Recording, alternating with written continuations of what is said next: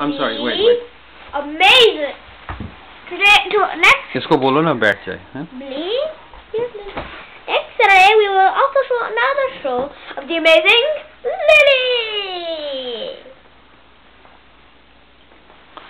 So are we gonna make a movie every week?